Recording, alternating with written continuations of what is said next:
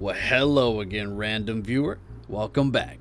I'm Archie Stormcloud, and I'd like to thank you for tuning in to my loot guide part 2 all civilian barracks locations. And in this lesson, we're going to take a look at the civilian equivalent of military barracks, which yield the same types of military grade loot as their garrison counterparts. I'll be providing you with their coordinates as well as a description of their locations so you can get better loot faster and with significantly less chance of being shot in the face. Let's loot, boys.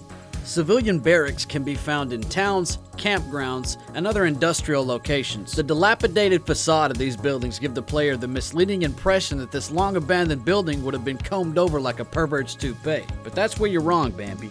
It is 100% possible that you'll leave one of these buildings with an assault rifle and other gear that'll have you well on your way to becoming one badass motherfucker. Most of the loot here spawns on and around the beds as well as in corners and on top of the wardrobes and on and around the cooking stove in room 2. Don't forget to check the foyer and hallways for smaller items you may have missed. There are seven areas in South Zagoria Chernarus where you can find these barracks. Soroj, or Prison Island, Solnichny Quarry, Krasnostav Compound, Arsenyevo Summer Camp, Kamensk Mine, Zaprudno Farm, and Pobeda Holiday Camp. Now you can pause the video, take a screenshot, or press like now, but we're going to take a look at these one at a time so you can familiarize yourself with them.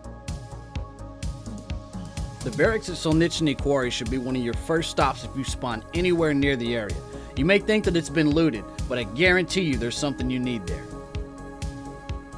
Krasnostav Compound is the clitoris of civilian-style barracks. Most people think it's a myth, most people have never seen them, and only real men know where to find them. There's also a lookout tower there that spawns all sorts of gear from guns to ammo to armor, so take a look while you're there. It's worth checking. Located due north of Severograd Quarry, the barracks at Arsenyevo Summer Camp are where you'll start finding higher tier military style loot such as grenades and heavier armors. Located just outside the small village of Kamensk, you'll find the barracks at Kamensk Mine. If you're up for one hell of a cold swim all the way over to Prison Island, you'll find tons of loot inside these three civilian barracks locations.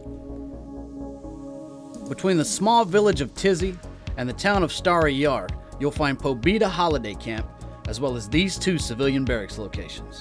Just off the northern highway between Novaya Petrovka and Ratno, you'll find Zaprudno Farm, which is home to these three civilian barracks locations.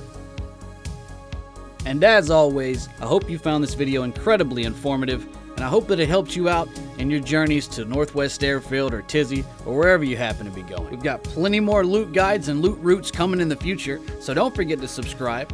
If there's any questions, comments, or concerns, or something we missed or maybe got wrong, drop in the comments section below. If there are any other questions you may have, come see us on Twitch. And until then, I'm Archie Stormcloud, and I'll see you in Chernarus.